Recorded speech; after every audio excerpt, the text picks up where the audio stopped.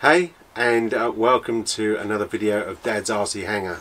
As you can see we've got a unboxing of the Focke-Wulf, if I've said that right, if I haven't I do apologise, but it's from Hobby King, oh, and there's the picture. So we've got one more thing, it's got a picture instead of a blank box. So anyway, um, let's get on with unboxing.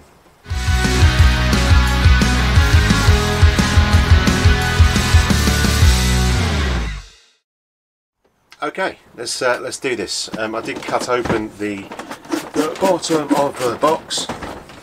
It's still a bit sticky. Make sure I haven't got, and I haven't. I thought I might have another bit of tape. But as you can see, this is. Here we go. As you can see the picture, if I, if I come a bit closer to you guys, girls, whoever eventually. It box will come out. I'm not going to show you just yet because I haven't even seen it. There we go if I get the light right without blinding you. I think it's called Focke-Wulf FW190 um, it's got some cool stuff um, in it. I will probably run through them um, but I haven't got my goggles on so it looks like a bunch of ants walking across a bed of paper. But uh, we can uh, we will have a look at that in a second it's uh, everything will be listed below. Let's get the box off. That's what I say. Try not to hit my planes. Sorry, girls. Okay. So I think there'll be a good chance to put the goggles on. What do you think? Um, we might be able to see things a bit better. Okay, so let's get this bit of tape off. But it's good. It's not. Uh, I mean, it's it's been around for quite a while. This flame, but uh, by the looks of the box, it's it's uh, pretty cool. Normally, if it's been in the in the um, shop a long time, it gets a bit discoloured. The tape, but this looks pretty fresh. Looks pretty sexy. I must admit. Okay, so what we got? What we got in here? Look at this. So you've got a nice little Hobby King screwdriver um, oh, this is this is great. Now I'm hoping this is for the wings. Um, we will look at this a bit closer in the build because uh, you probably can't see from here. I need to. I think I'm a bit zoomed out too much, but what the hell? They use nylon screws. You can just about see those. If not, we'll look at the build. Um, but basically, uh, a lot of people when they put their undercarriage on and also wings, they use nylon screws because if you do have a crash, um, it normally ends up breaking these and you can just put like a little cut. So it makes it a weak spot. So rather than bending out your wings and bits and pieces um, yeah, you just just break the screws. So I've got a control horn um, and a couple of little screws in here. And and a little diddy diddy screwdriver. With a bit of heat shrink on the end to stop you from hurting yourself. I like that. It's, it's, it's, uh, I like that. I like that screwdriver, don't know why, it just looks a bit chewy. Looks like a lollipop. Whose hand's been around that? That's don't do that. Okay, so that's it. That's all that's in that little pocket, I think. Chuck it to the side. There we have the propeller in a big bag. Why do they put a propeller in a big bag? Who knows? But it's it just wants to get out the bag. Okay, it's a nice prop size. I don't know the size. Normally these props say what size is, but this is typical um, Hobby King, I suppose, stuff. I can't put little little nick on there. But I balance my props. Um, I haven't done that in a video. I've done a lot of things in videos, but I do balance my prop. In fact, my prop balancer is here. My prop balancer. Not tried a tripod. Oh, that's breaking it now. It keeps coming off. I've not tried three props. I think I'll probably need a bit of a bigger one, but uh, I haven't painted the edges either. Hmm. It's a nice prop. Okay. What have we got here? What have we got here? Nicely bubble wrapped. It looks like the vertical stabilizers or verti yes, a vertical stabilizer that has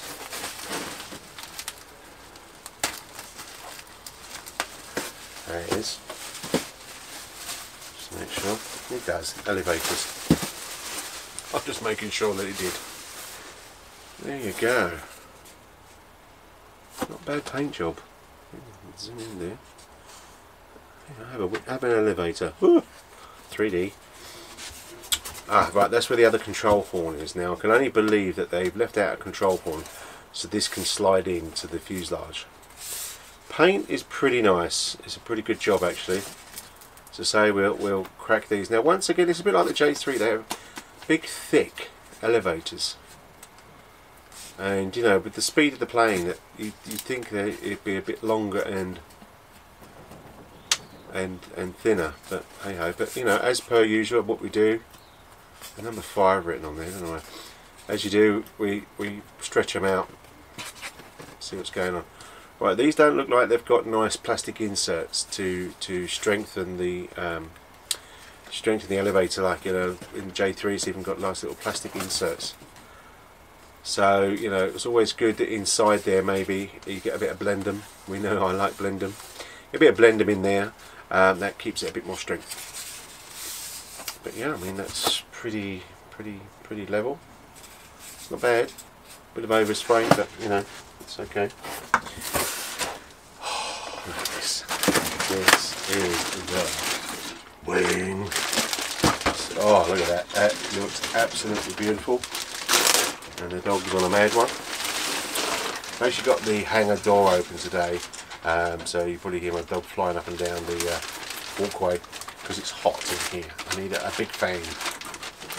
So anyway, let's get this open. Pretty well packed up again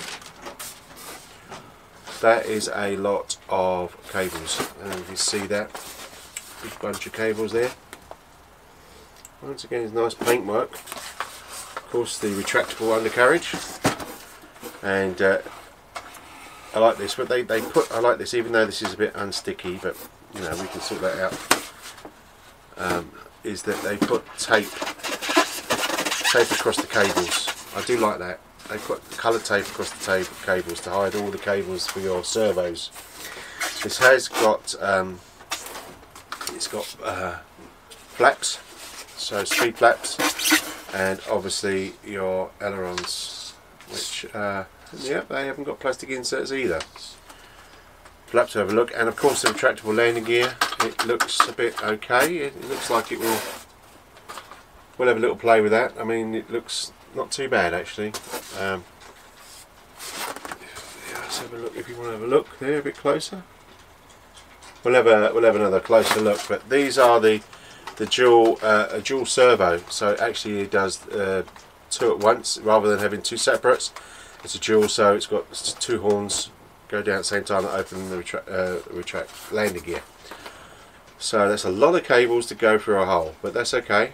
We've got the flaps, ailerons, uh, gear and LEDs yes yes I remember seeing that. These have got your green LED and your red LED part well I didn't know the plane terminology. I know the boat per, uh, terminology port and starboard. I presume it's the same as the plane.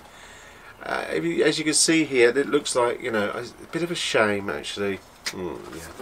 if you look on here and look on here it looks like someone's been using it as a frisbee. Can you, you can see that actually because I can see it in the monitor. Yeah, it looks like someone's been sitting on it or using it as something like a Star Wars weapon or something in the shop. Hobby King again, you know, and obviously the wings as well. If you look at the wings, they don't meet up properly there. I don't know if you can see that in there. Yeah, just here. But it might go in okay it's got the plastic to, that butts into the aeroplane. That's a shame. I'm really looking for a perfect plane from Hobby King. You know at the end of the day money's money. You know I mean Hobby King do do do do do do do do returns. Um, and I've got to send back one of my batteries that I bought that uh, needs to be returned. It's not holding the charge. It, it's a bit weird. But that I could send it back. That's dense in that you know but I don't know. I mean, they get you like that, don't they? You're so you know into it. Anyway, the, the, this is a plane that was uh, that was basically the beginning of the Second World War. The real uh, FW190 was a bit of a stand-up to the Spitfire in the early days. Um, it held its own against the Spit, um, but that was when the Spit had its uh, carburetor float problems. I think it was that. And I'm trying to think of the lady's name now that, that designed uh, a way to get around it. And I can't remember her name. Sorry.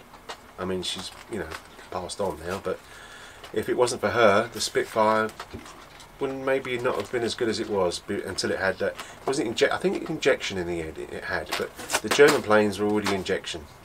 Uh, but we didn't. We had uh, the old carburetor that when you flew upside down, it flooded the engine. Um, in fact, if you look on, if you watch the Battle of Britain, and you see uh, a Spitfire do a roll, I'm certain of this because I saw this and I questioned what that was. I thought it was, yeah, but if it done a roll, and as it does the roll, um, black smoke comes out of it, and you hear the engine drop out. Yeah, I've got my Spitfire up there. Um, she's beautiful. Um, hmm, okay, right, so that's the wing. So pretty sad, Hobby King, once again, sending me dodgy shit. Did I just swear? I'm sorry. Okay, right, so that looks like, oh, that's deep down in here, we've got a spinner for the prop. Um,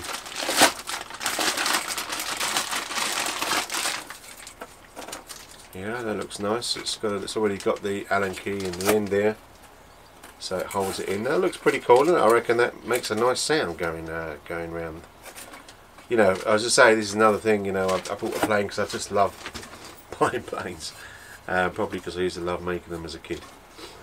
Um, but uh, I will fly this eventually as soon as the I can fly my own, which I'm hoping to. I'm hoping to do fly once a week if I can, if the weather holds out, even maybe uh, in the evenings if I'm in the office. But um, not sure what it is. But hey, that is the uh, spinner for the propeller, which is pretty cool. So this doesn't look like there's a lot to go together with this, which is pretty cool, really. Um, yeah, so here we have. Yeah, this is this is sexy. I do love it. I do love when I bring out the fuselage. You know, it is the main thing. And I believe that's all of it actually. Looking there. Yeah, so you know, Hobby King, which is, is a good thing, saving the planet, no instructions. We'll have a look online at the PDF to see what uh, how good they are. But to be honest with you, I mean this is self-relevant. I mean, not a lot to put together. So let's uh, let's get this bad boy out of here. Uh, let's get this big white plastic, foam thing out of the way. I mean, maybe they can try and. It's going to hit the camera. So maybe they can try and get away with using foam. I don't know what else you'd use. Look at this sexy, sexy, sexy fuselage. And even look, Commander Schmidt in the aeroplane. I've just named him Schmidt because I like that name. I do like the German language actually. Probably wouldn't have in the in the Second World War. Okay, we've got a bit of a scratch or a decal. It looks like the decal someone's put it on. Uh, you can see that little scratching it, it's about there. You can see that. So I've put the decal off. And yeah, it looks like um, someone's got a bit hungry while they're building the plane. Yeah, I don't know if you can see here. I don't know if it'll zoom in, but yeah, it's a hangar rash going on before it's even in the hangar. but you know, it looks pretty solid in there. I like the motor, I like the housing, so when the old prop will be on there, that'll look pretty sexy. Now the good thing I do like about this plane um, is the actual how you get the battery out. Now, I should put this a bit lower actually, but it's you open a little catch and apparently voila there is where the battery goes in there. If you can see it. Not going too much we'll do a bit of madness in the actual build. Not that it's going to be lots of videos. It will be a couple of videos by the looks of this and you've got the rudder elevator. Now all them cables from the wing fitting up into here doesn't leave a lot to be honest for a transmitter. Hmm. it kind of gives all this sexiness of hatch openings and that and yeah. But we'll, we'll figure that out. It's not a big deal you know. I mean this was still what 100 120 quid? 120 pounds? 120 pounds I expected it not to have bruises on it I must admit. I mean I don't, I don't know what's hard about putting the plane in a box that's mind the dog again oh no she's coming to investigate so yeah you have a bit of dog action. Um, yeah Hobby King, what the hell? You probably don't see this and if you do you don't care I don't know. I've actually done a hobby on Hobby King it's a hunt out 10 Easter eggs. It took me ages to find all the Easter eggs. I sent it off in an email. As they asked you know what they didn't even send an email back saying we put you in the drawer. Yeah almost as bad as Currys. Did I say that out loud? Okay so um, yep so we've got the fake LED at the back of the tail. Um, but uh, that looks pretty cool. Once again it's very chunky. I mean it's, it's very badly put together here. It's very rough and ready. I mean to be honest you know Hobby King you know yes okay I'm only paying 120 bucks but there's other planes out there from other companies at the same sort of price that you get good quality. My own fault for punishment. But I did want this plane. Um, I did want it so I've got like a nice German plane against my nice RAF plane. Um, obviously Spitfire, love my Spitfires. Spitfires? Spitfire. Uh, once again as you can see here I mean you've got to make sure this is 50% it's a bit uh, now the the uh, you get these little plastic things in here if I can do show there that hold the rods that, that, that control the servos and that. Now if you look in here they're a bit flippy flappy. So whether that's going to make a difference. Yeah, I mean that's so you know that's so I'm trying to think why I've got one, two, why have I got two Ah, it's for the wheel. So the wheel turns as well as the uh, as well as the rudder. So, but yeah. So I mean, I must admit, my excitement suddenly went from 100% to not a lot percent really, to be honest. You know, bad paintwork on the bottom there. Looks like they put it down to spray, and it's stuck to something. I've definitely. What is with me and the Friday aeroplanes? Now, obviously, Hobby King do offer a return policy, which means you can just return the um, whatever you buy, no fuss. Just I don't know how they, whether they pick it up or whatever else, but you know it's like you get something, you know, you, you, you want it, you want it, you know. Otherwise, why buy it in the first place? So every time you send it back and get it back, you know. You, hmm. But it's not that bad. I mean, I'm, I'm picking up. I mean, you know, I'm trying to, you know, do an honest, an honest unboxing. You know, I don't work for Hobby King, so I don't have to give to you. I don't have to open six boxes until I find one that's perfect. Um, but she, she's nice. You get the pilot in it, which is great. I mean, it looks a bit squished up in there. He could be sitting back a bit, but you know, uh, maybe they flew like that. Maybe he's he's eyeing up my Spitfire. But you know, I mean, okay, it might be a bit of battle damage. I mean, I'm sure by the time I finish flying, this is going to have plenty of battle damage. But I mean, this is why I look at some of these foamies. Is that this for me to to learn to fly. Um, you know, I've got my beautiful Red Arrows Hawk here that uh, that when I'm a bit more professional I can fly that and that was made very well um, that, but that was an FMS I do like the FMS models they they are really really cool and this one as well the Tigercat which is you know I mean I don't know if you can see you can see it yeah I mean it's the detail in this have got rivets and it's it's pretty big I mean okay the the one of the nose landing gear um, don't know what you call them flaps um, was broke but that you know that could be fixed you know but you know Okay, that's a, that was a lot of money, so really I should have expected that to be pristine. I don't know what it is with people these days, you know. I mean, would you sell a car? It's all sort of got a scratch, you know. Oh, don't worry about that, you know. Or it's got a dent here. Oh, don't worry about that. That's fine. So I don't know, you know, the people that do the quick QS on here, Mr. QC1, which is quality insurance or quality whatever C is stand for. Um, Mr. Maybe that's his name, but QC1, you know, you're fired. yeah. So that is the uh, unboxing of the Falkhoff um, FW190. Um, it, it's, it's, a great and sexy plane. I mean, I'm sure you agree. You know, once uh, you know, once we get the old, uh, once we get all the wings on. Um, so I'm just looking in so I can see, but I don't, as I say, I don't have the biggest, but you know, once the wings are on, oh, hit the plane again. That looks pretty cool, don't you think? I think so. Be interesting to see how it goes together, which will obviously be in the next video. Um, yeah, so until then, keep safe and keep flying. See you later.